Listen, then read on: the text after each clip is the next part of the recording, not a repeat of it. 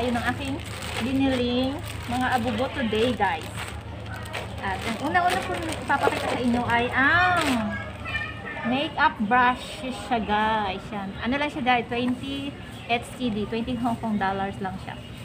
To, kompleto na siya, may sa pangkilay, may sa makeup, eyebrows, ganyan na siya. 20 dollar lang siya guys. Yan. Pink ang color, kulay, ang kulay niya.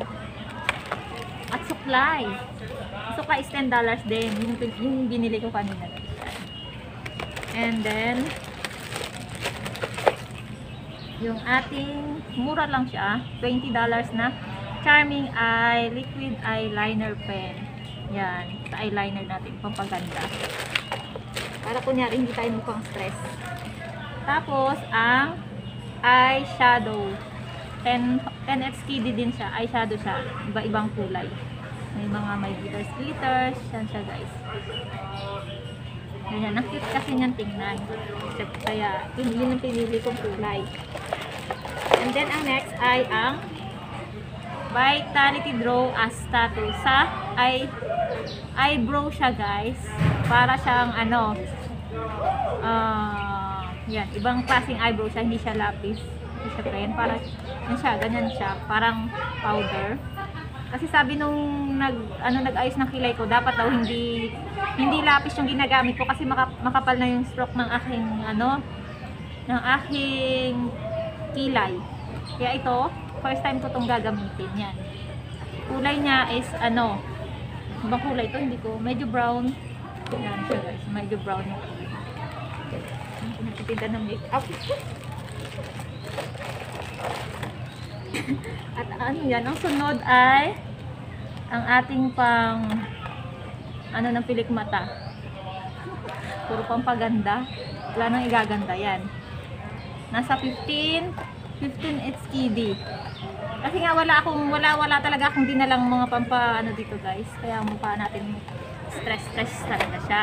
Dapat meron din tayo mga pampaganda.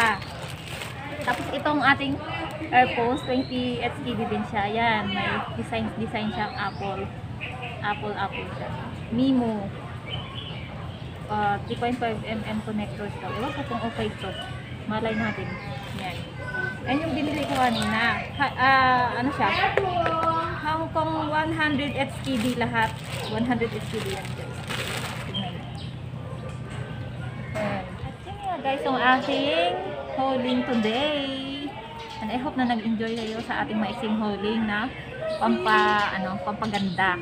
Kunyari pampaganda na wala namang igaganda. At by the way, bago ko tatapos ng aking video ay gusto ko mag-shoutout. Shoutout po sa lahat ng aking real friends in YT World kasi ah, patuloy na nagsusupport sa atin kahit sobra tayong busy ay laging nanonood ng ating mga video at nagsusuporta.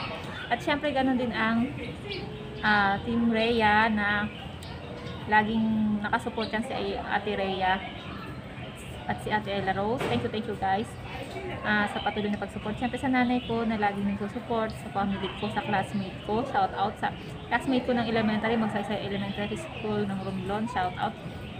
Shout out din sa classmate ko ng high school, San Mariano National High School at Muson High School. Classmate ko ng college. Shout out, shout out sa inyo lahat. Thank you, thank you sa support guys. At at shout out po sa lahat po ng aking brothers and sisters in faith, um, Seventh Day Adventist all around the world. Thank you, thank you, and God bless everyone.